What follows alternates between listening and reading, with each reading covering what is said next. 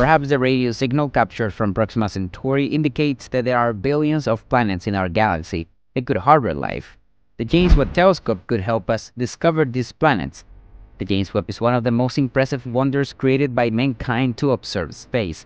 Scientists believe it will be far more powerful than any other space camera launched by humans, allowing them to study distant objects in a way never before possible. Before the James Webb could observe Proxima b in space, to see if it emitted signals, spacecraft such as New Horizons or Voyager 1 and 2 were used, which were sent long before the first people traveled into space. Scientists want to find out if the lights coming from Proxima b are of artificial origin. What will the James Webb discover when it approaches this alien world and how it will change our lives? The James Webb could make a big discovery about artificial lights on Proxima b which could challenge our understanding of the universe. The question of whether there are other intelligent life forms in space has intrigued mankind for decades.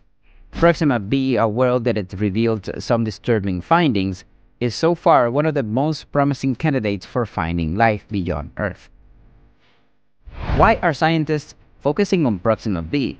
What disturbing things might have been discovered about this planet, and how the new James Webb Telescope help us understand them better? The stars in the night sky shine brightly, but we can't see the planets orbiting around them with the naked eye.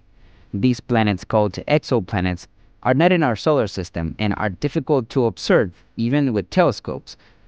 This movie shows another reason why they are tricky to see. Experts say that some exoplanets have conditions suitable for life. These distant worlds may harbor life forms from other planets. Scientists have always been interested in these planets but their studies have been limited by the tools available. They have used new techniques for their investigations. Now there is a new player in the field. However, the powerful telescope scientists are not so optimistic as to expect to see aliens walking around, although it would be amazing to have an actual image of them. Instead, they are looking for signs that indicate the presence of life on these worlds. But what is it that identifies to science that a planet has living things on it? Scientists have been trying to find life on Proxima b ever since it was discovered that its parent star, Proxima Centauri, is part of a triode star.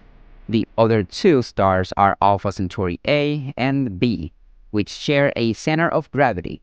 Scientists are not sure whether Proxima Centauri orbits around the one pair or simply in the same neighborhood you don't need a telescope to see Alpha Centauri. Three stars work together to make Alpha Centauri the third brightest star system in the sky, and Proxima Centauri is the closest star to Earth, 4.24 light years away. The star is difficult to see because it is smaller and less bright than the other two, being a red dwarf. Proxima b has a very small orbit around its parent star, about 5% of the distance between Earth and the Sun, Earth is 93 million miles from the Sun. People on Earth need special tools to see Proxima Centauri. Although our Sun is a very bright star, Proxima b is in the habitable zone of the star, which means that it could have liquid water. This habitable zone is much closer to its parent star than the distance from the Earth to the Sun because Proxima Centauri is cooler than our Sun. Proxima b is about 4 light years away, Scientists found Proxima b to be the closest exoplanet that resembles Earth. However, that doesn't mean we'll be able to send humans there anytime soon, since with recent technology, exploring that world could take thousands of years. Proxima b cannot be seen by looking directly at Proxima Centauri, as it does not pass in front of it, making it difficult to determine its orbit. No one knows whether Proxima b's orbit is circular or highly elliptical. Astronomers also believe that Proxima b may not always have been habitable. If it had formed in the current orbit, it would have been hotter before Proxima Centauri became a main sequence star. Proxima b could have started so close to its star and stayed there for a long time. It is very difficult to find exoplanets like Proxima b because they are hard to observe. Scientists have to be creative to discover them. That's why the first exoplanet wasn't found until 1995, even though there are thought to be trillions of them in our galaxy alone. There could be many more exoplanets than stars, and many of them are believed to be the size of Earth.